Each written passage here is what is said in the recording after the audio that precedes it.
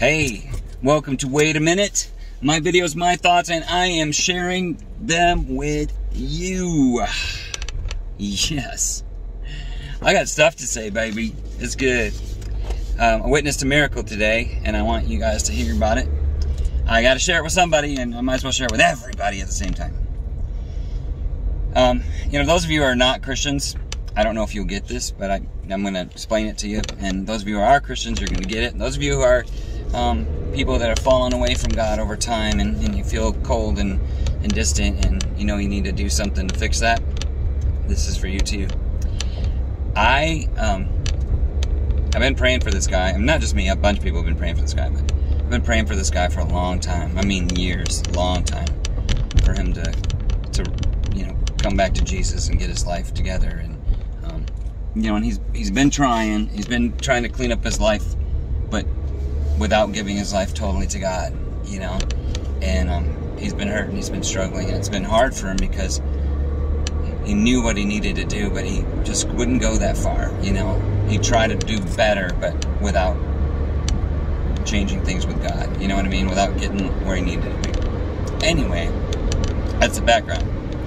So, now, guys, I know I don't always, uh, you know, you don't, I don't look like it necessarily. Excuse me, I gotta get a drink. I know I don't always look like what everybody thinks a pastor should look like, but I am a pastor.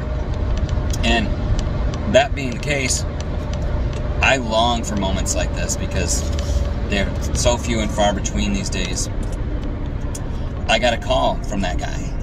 And I mean, we've been talking recently about about God and about what to do next and all that kind of stuff. So it's not like it was a the thought was a shock. And it really wasn't a shock at all, but it was I don't know, the moment, the way things turned out, it was just really cool. Anyway, he called me. And, you know, I'm not going to get into details, it's just kind of a private thing, but it was really beautiful. And he let me know right away that he was, he wanted to be all in. He wanted to give God everything he wanted to do. He wanted to be all in. And that's what you got to do. I mean, in order to have a successful, and by successful, you have to put your own words in there, but in order to be a successful Christian, one who really is a Christ follower, you have to give everything. You have to be all in.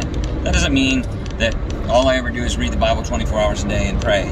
Um, although I am in kind of a constant state of prayer because I pray for people like on the fly, just in my head. You know, bless their heart or whatever, you know, things like that.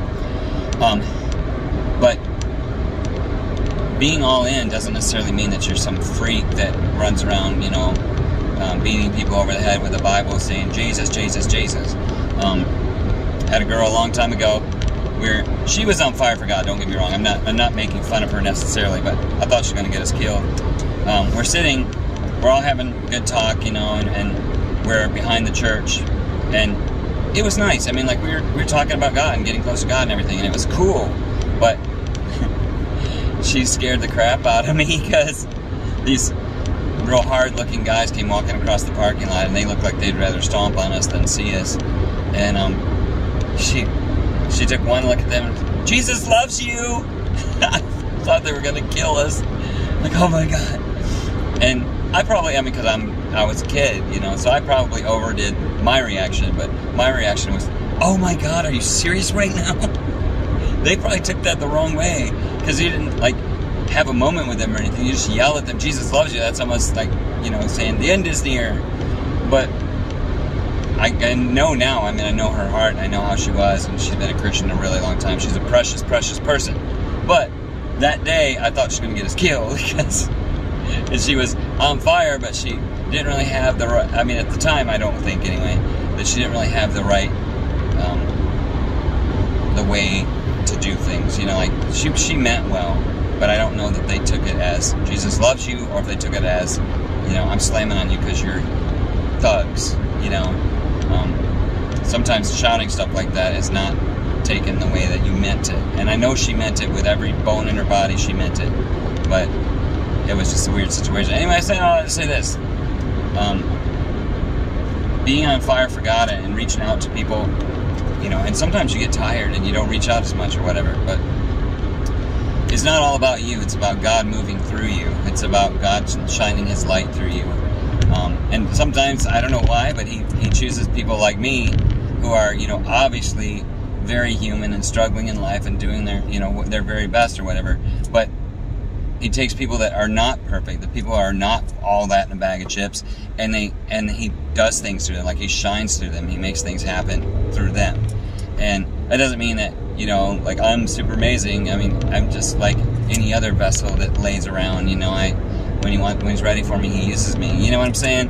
Um, not trying to belittle that. It's a, it's an honor and it's a blessing. I'm just saying, um, when he moves through us, that's a beautiful thing. And I don't know why I said that part. Anyway, um, so I prayed with this guy, and it is a good prayer. And I don't mean like I said a good prayer. I mean like I could feel God moving in me, and, and you know, uh, I don't know, working in the prayer. I don't know how to say that, where everybody will get what I'm saying. But um, I could feel God moving. I could feel it, you know, something happening that was amazing, a start of something beautiful. And I have every faith and every um, hope that this is going to be a huge thing for that guy, and for me too, actually, because I think I'm involved in it. Um, you know, he's got a call on his life. He's got so much ahead of him, and I, I just think it's beautiful. I think today was a moment that he can remember forever as the start of something new, start uh, refreshing, uh, something that he can really. Um, his life has changed today. Whether or not he hangs on to what he got today or not, he said or not twice. Um, today was a moment. If he hangs on to that, if he if he runs after God like a deer panting for the water, he's gonna he's gonna grow and he's gonna go places, baby. I know this. I I just do. I've seen it a million times. I've seen it in my own life. He doesn't ta- he doesn't pick us because we're amazing. He makes us amazing when he picks us. You know what I'm saying? We're amazing because he picked us. Um, anyway, in this particular situation, this guy is on fire. We prayed for a while. We talked for a while. We're going to follow up. It's beautiful, and that was a miracle to me. You don't see a lot of miracles. Well, you do if you look for them, but you don't see a lot of miracles just like every day. You know, um, water turning into wine and you know, blind seeing and all that kind of stuff. Although that happens, the blind seeing part. Or maybe the water into wine, I don't know. But uh, now I got a bunch of people out there praying for their water. but um, yeah, I mean, like, that was a miracle. That was something that was so amazing, and I got to be right there in it, which was another miracle. And um, prayers being answered, that was another miracle. And the fact that this guy was willing and, and humbled and able to just reach out and reach to God and, and just open his heart and be all in is a miracle.